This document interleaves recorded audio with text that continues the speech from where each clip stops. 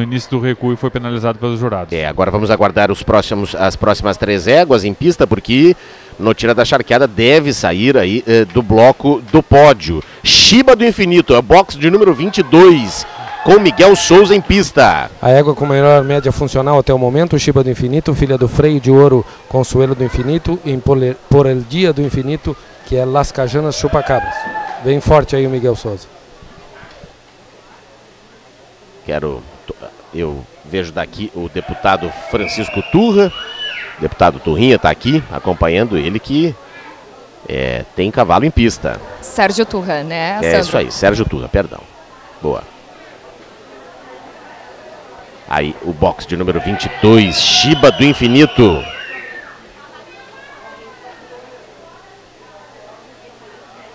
Realizando mais dois giros.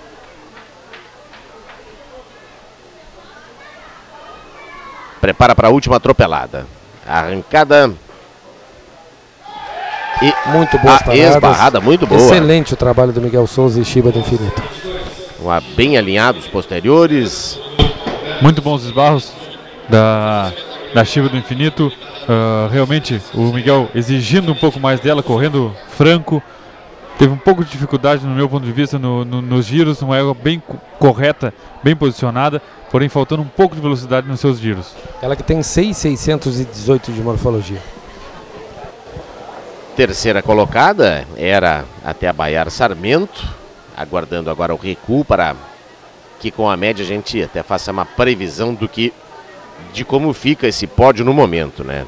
Certamente a no, no tira da charqueada deve cair. A história do encanto deve entrar, assim como a própria malícia também subiu. A média 16 de Shiba do Infinito. Oraca 3 da Vendra Minteé, com o Ney Lima, é o próximo conjunto em pista.